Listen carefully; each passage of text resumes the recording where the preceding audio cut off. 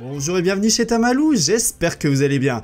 Ça y est, c'est officiel, ça vient de tomber sur le Twitter officiel de Nintendo. Ce soir, cette nuit plutôt, entre 1h et 5h du matin, pendant la cérémonie des Video Game Awards, le huitième combattant du Fighter Pass numéro 2 donc sera révélé.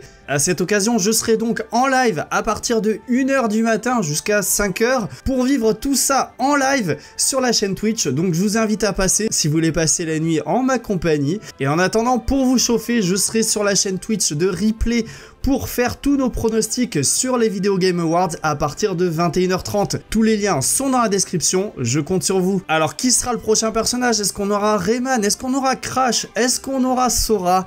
Réponse donc cette nuit. Allez sur ce je vous dis à tout à l'heure